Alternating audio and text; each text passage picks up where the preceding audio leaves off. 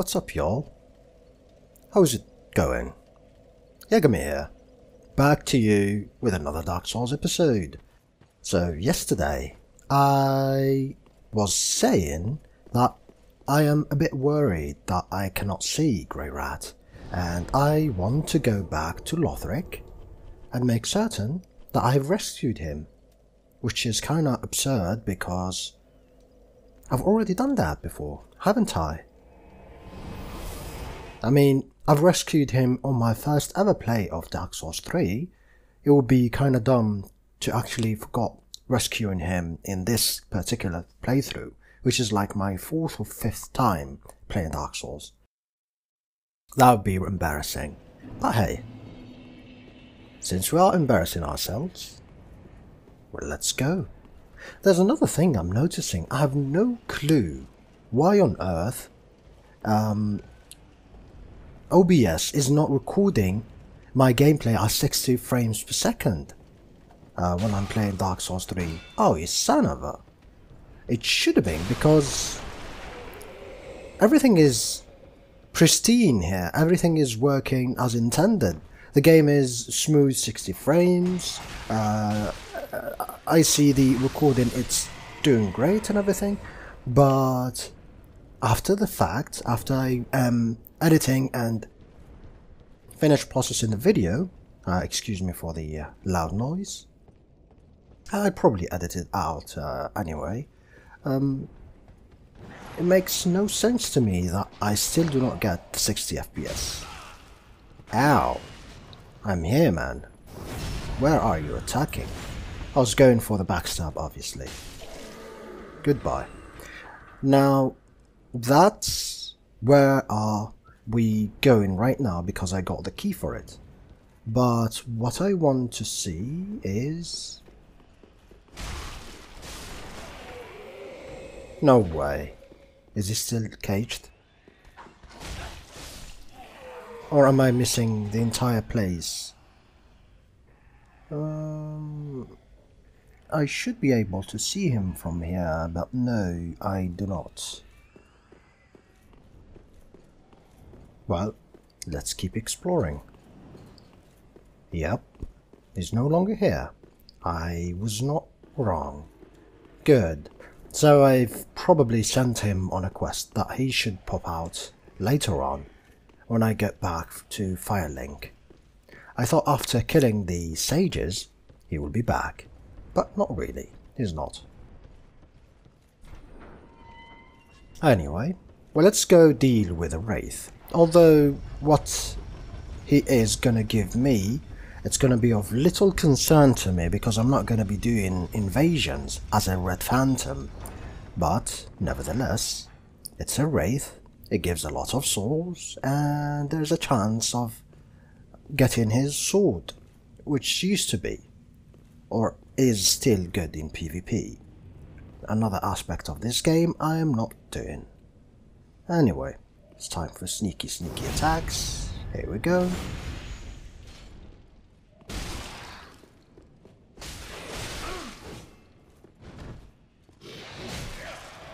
As you can see, he's uh, not a pushover. He is not a pushover at all. You should be wary of that attack.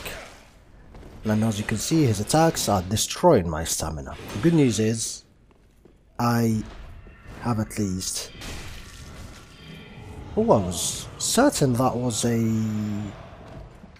Damn. I was def definitely certain that was a backstab. Alright. Alright, okay, it's alright. Patience is key. There we go. And we've got the Red Eye Orb. Now, like I said, the Red Eye Orb is an invasion item. Let me go check it quickly. So it's an online play item. I'm glad they do this because they will tell you and warn you that this is a play item, an online play item, as I adjust my microphone. Sorry about that, guys. Um, invade other worlds at will. Defeat the host of embers of the world you have invaded to gain the strength of fire. The red eye orb is rooted in a tiny land swallowed by darkness long ago. Some choose to put the orb to other uses, to embark on this path, enter the service of Rosaria in the Cathedral of the Deep. That is something I am not gonna do, definitely. ah, Way of the White. Anyway, that done. Time to go back to the shrine bonfire. First, let me go check things out at the shrine bonfire and see if Grey Ratty is back. If not, I will just teleport back where we were and head for the Deacons of the Deep. I call them the Beacons of the Deep. Oh, there he is. I knew it. I knew that he'd be back. Oh, sooner or later. You've come at a good time. I do? Oh, it took some prowling, but I finally made a score. Go. Thank you. Give me your score now. And yes, he finally did indeed. Now this is one of those things that I'll want to use in this gameplay, or in this playthrough in particular. Oh my good old Zweihander. This is the basic weapon that I used for my entire first playthrough of Dark Souls 1. Well, not just me, many of us did because this used to be a powerful, powerful weapon that staggered everything and anything in its path. What else do you have for me? Uh, we got the knight stuff. This is the armor that I'm not a big fan of. We got the knight armor, the one that we started with, and the assassin's armor. Cool. Anyway. You can keep the ring as. Goodbye. And stay safe. I would, man. I would. So, let's first reinforce the Estus. Thank you. Give coal. Oh my. This coal is from the Undead Legion. Used it is indeed. the weapons of Farron's Abyss Watchers. A fine prize. I'm honored to be endued with it. Now I'll be equipped to infuse special gems. Praise the gods, eh?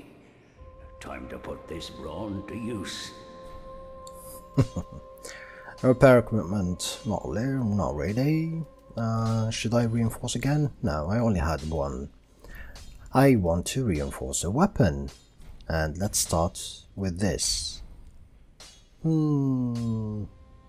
I don't have that much uh, reinforcing materials, but I can infuse it. And I'm thinking. I'm thinking of infusing. No, infuse. There we go. Can I not infuse it? Really? Alright then. What's this? It's a great machete. Oh yeah. Really? I was like, what? A great machete? Is this, you know, the giant machete? But I've never got into the giant, or I've never been to the giant before. I was afraid for a second. Which I shouldn't be, to be honest. Anyway. Be careful. That said, it's time to equip this. It's a lovely, lovely sword that I should two-hand it. And I'm thinking since I would be two-handing more than anything, maybe I should use this shield. It gives me more stamina recovery. Since I'm gonna ah. use it like that, it makes sense, doesn't it? That said, 10k, huh? Well, it's leveling up time. Again, endurance. Uh, thank you, goodbye. I'm really tempted to go and just take points from Mr. Hollow right here, but yeah,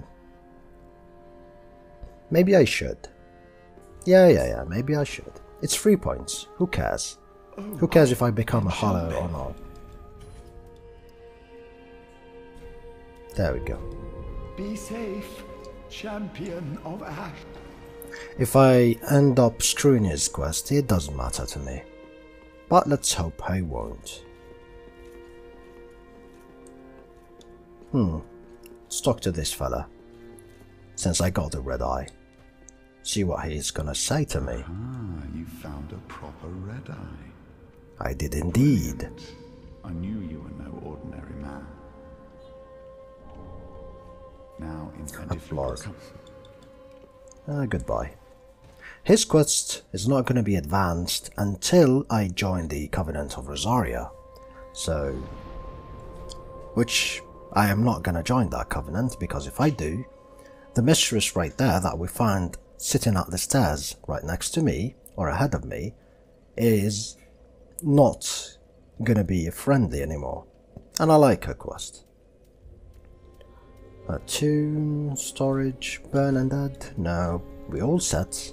We are all set. So go to the Crystal Sage place and continue to the Cathedral of the Deep. I think it's the cathedral. I think. Oh yeah, yeah, yeah. I, I, I remember. The place should be called the Cathedral of the Deep, and the enemy, the boss mob, are called the Deacons of the Deep. Well, we'll discover that lately. Or shortly. I always got confused by that path, which is blocked by rocks, obviously, and there's nothing you can do there. And I always went, went there first and found myself blocked. Goodbye. Ooh, Twinkling Titanite. This should be Twinkling Titanite too. Twinkling? Oh yes. There is a uh, a bit of uh, an enemy problem here, as you can see. One of them is patrolling, one of them is waiting, and the evangelist here. So, if I am impatient, I'll probably go and try to stab the evangelist, and that guy's gonna be aggroed, and he's gonna attack me, making my progress slower. And if he does, this guy eventually is gonna come back to me, and I will have three tough enemies ahead of me. That is a big problem. Now I forgot what button.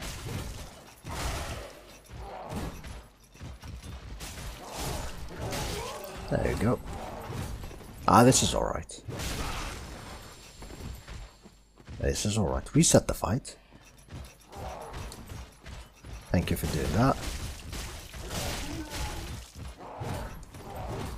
I think this weapon has bleed, if I'm not mistakes. Mistaken mistakes.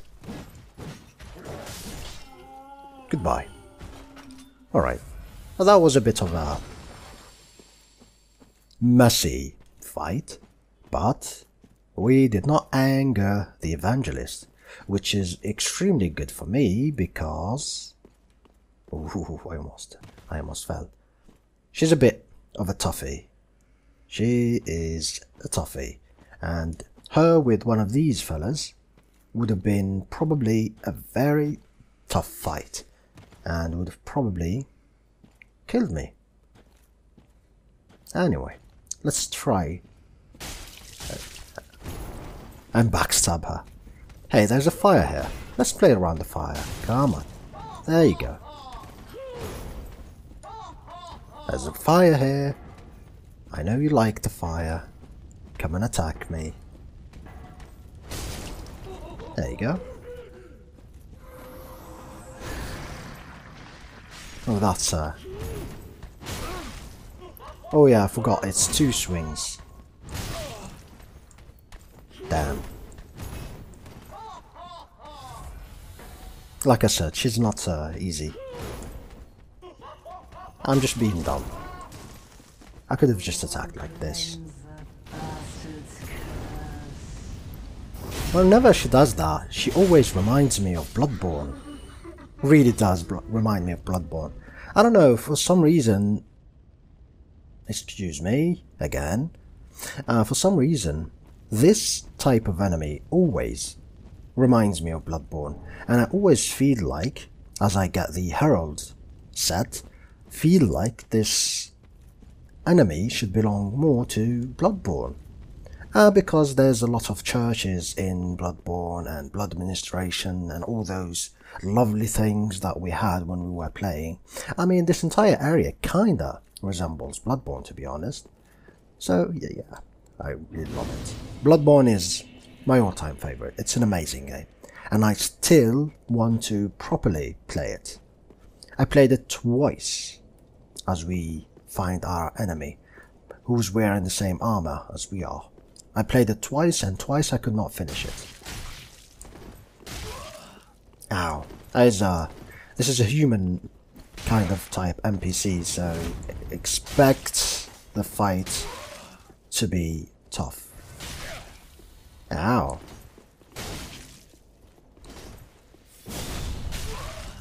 Oh yeah, I forgot that I had that. We should probably go to even platform so that we can fight normally. There we have it. Watch my stamina. Ow, that's a powerful staggered attack. Now to be honest, I'm tackling this fight wrong. That's the problem.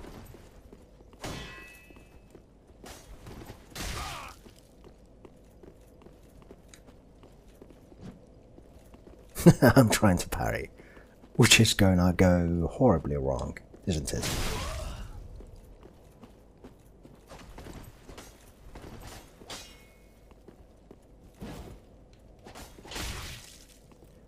Nice. Oh, try to break my shield, aren't you?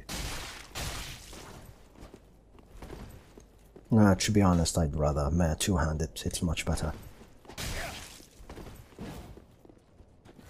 Top my health off, as I take a knife to the face.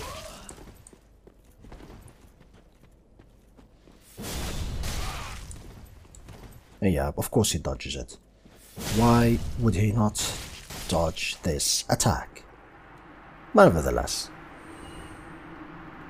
at the end of the day, it's just an NPC, and he's not gonna be reading my attacks and dodging them and stuff, although I'm certain they could have made it harder as an AI.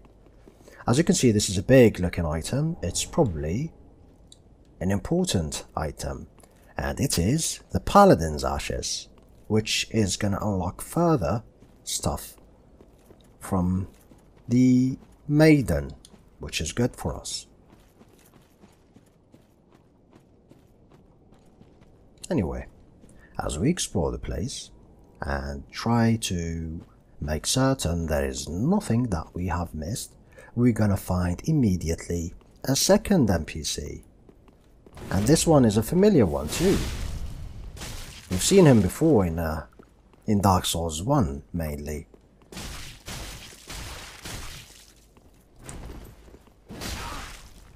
Ow, I should have dodged that. Now since this guy is kind of a tank type of enemy, he decides to try and tank through my attacks, which goes horribly wrong for him. Now this is a bit of a tricky area because there's going to be dogs, there's going to be archers. So mainly dogs die first. And as you can see, try to deal with the dogs and you get rained upon with these arrows. And they are fiery arrows too, which they would make certain that will stagger you and stun you for a bit, as you can see. Ah, good news, I got that one. As the dog is trying to come and find me. Okay, as one dog they have this small ravine or ravine, whatever you want to call it, to kind of try and fight your way through, like so. Which I've never used to be honest, so let's just use it this time. It's really good, as you can see, it's nice, you can dodge many things and you just basically go through most of the enemies.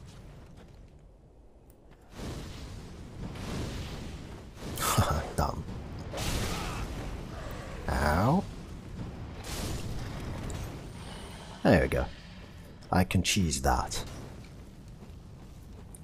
And since there's only you... Oh no, there's a second one I forgot. I can do this, no problem. No problem whatsoever. Now this is a lovely area. Really nicely designed, with the woods and everything. This guy is a maniac, a suicide maniac. He's gonna be doing this and killing himself. So you can either rush and kill him, or you can just wait for him to die. Oh yes, it's indeed Cathedral of the Deep. Now, if I did things correctly, which I'm certain I didn't, I should be able to find Siegward here, stranded here, which I did not, undoubtedly. But the good news is, we haven't advanced anything yet, so I can find him. I just need to trigger some other things in order to find him. I think mainly I need to find Patches. That's the main thing I need to do. Oh, this is the DLC. goddess, mother of the forlorn, who have no place to call their own. Please bear witness to our resolve. Fire for Ariandel. Fire for Ariandel. And the ash to kindle flame.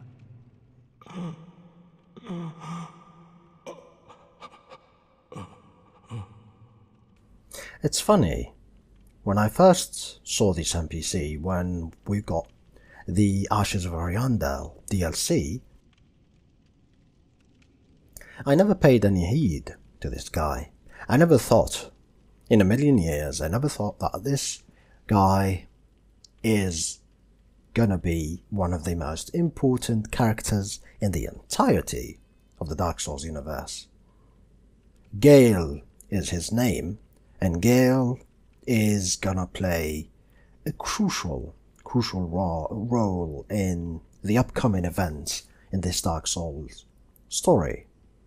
So it's kinda now that I've finished the entirety of the DLC, and I'm talking about Ashes of Ariandel and the Ringed City, especially the Ringed City, looking back at him like this, it's kinda reminiscent and airy at the same time. Now you see him as a normal man, kneeling, you think it's a frail character, is really nothing, it's just an NPC. But he will be coming back and forth, he will be summoned as a form of an NPC, and you'll take no heed of him until the day you see his true colors.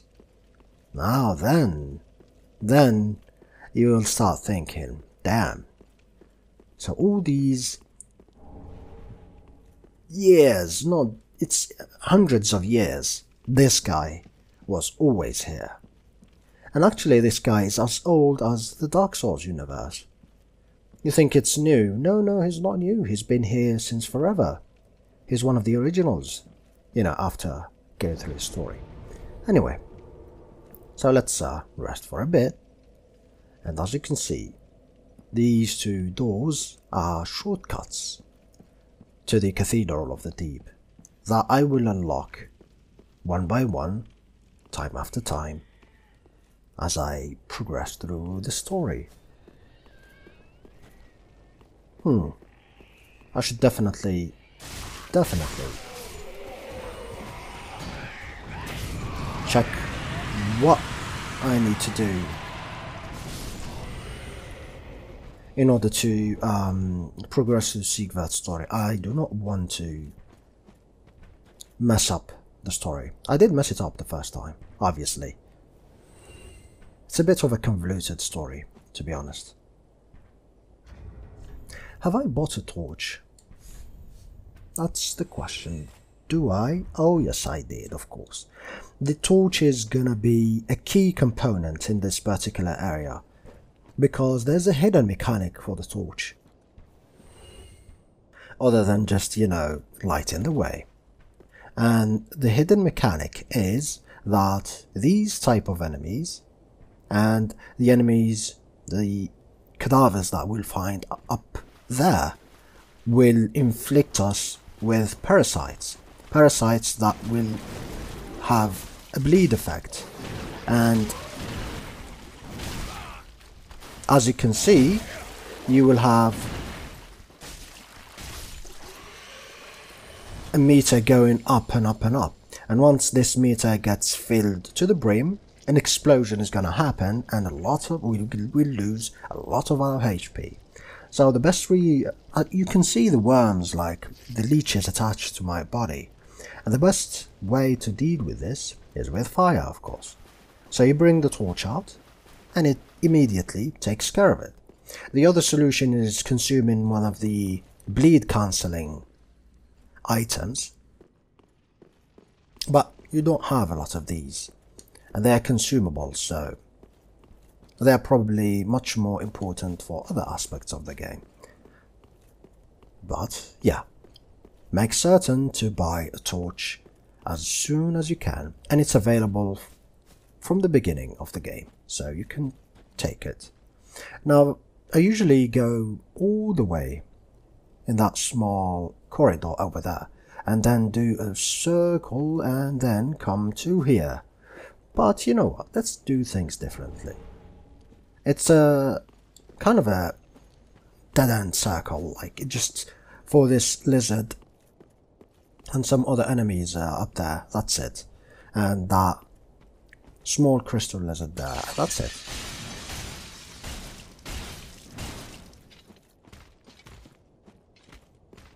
Take advantage. It really doesn't really make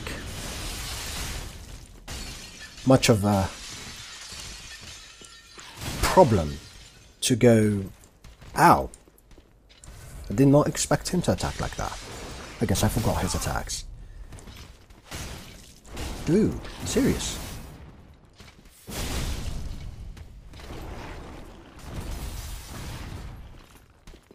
Now that I remember. Again?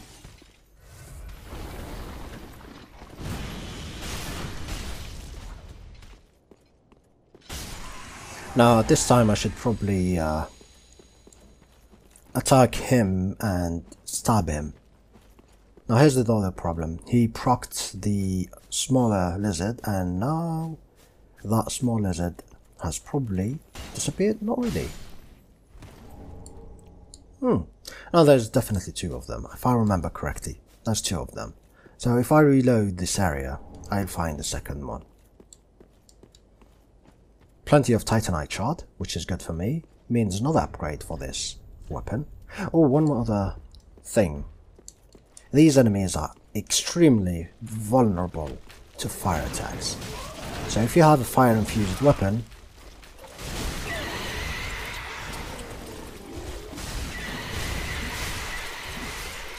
make certain to use it. Like you see, they're easy easy once you know how to use this weapon. I think this is where we find the Saint Tree Bellvine. This is one of the key items that I will be using for the build. Which is good. Which is really good. Why? It's a chime, obviously, and it's used for miracles sacred chime for casting miracles of the gods. A bellvine cut from a small saint tree that has been meticulously tended to. Saint tree bellvines are customary in the far north and allow for faster casting than ordinary sacred chimes. Gentle prayer restores HP for a period of time, albeit extremely slowly works while equipped in either hand. Now see, this is the biggest reason why this is good. See, this is a more contribution to the theme of the build, which is getting HP back slowly. Obviously, I cannot equip it now because I do not have enough stats for it. I need 18 in faith, which I will do shortly, undoubtedly. I need to farm for it a bit, which I will do off camera. And we got the Cestus, which is also good. Perseverance, cross arms in front of the body to temporarily boost poise damage and reduced while activated. Cestus is uh, one of those things too that I should be equipping, but right now I do not have that much uh, weight on me, so equipping more of these things is probably gonna be problematic for me.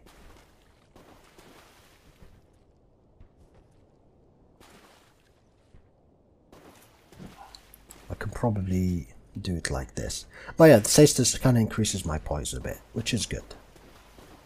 Anyway. Now that this entire area is done, that concludes... Holy shit! Already 31 minutes? I did nothing! Come on, time, play with me! 31 minutes, I was just like... Oh yeah, time flies by.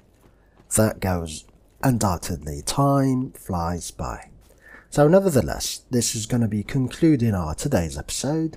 Uh, we arrived at the Deacons of the Deep, which is great, and we are to have a lot of, not a lot of trouble to be honest, a lot of fun, because I do like scary zombie, you know, ish games, and this place has a lot of zombies to offer. So yeah, you'll see.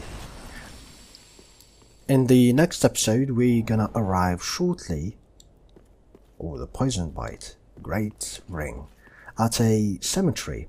We're filled with undead that will not cease to come back. No matter how much you kill, they will be back, sooner or later. And that's amazing, to be honest. So when I arrived there for the first time, I did not know about the torch mechanic, I did not know about many things, and it was a challenging area for me, and I died quite a bit there, which is amazing. So this has been Yagami, ladies and gentlemen.